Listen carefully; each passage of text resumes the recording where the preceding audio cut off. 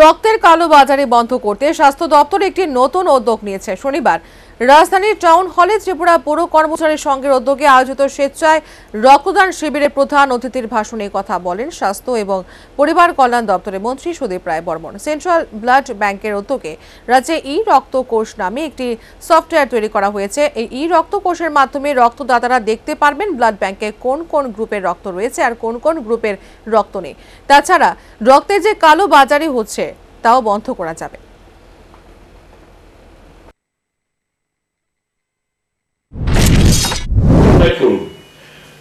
লক্ষ্য রাখবেন, প্রচার নয় মূল লক্ষ্য রাখবেন যে আমাদের যে কমিটমেন্ট টু দ্য সোসাইটি এই যে বছরে তিনবার ন্যূনতম রক্ত দান করা, এই সম পরিমাণ রক্ত যেগুলো আমরা দিয়ে আসছি, সেটা যাতে আমরা করতে পারি, সেই ধারাকেও হতে রাখা।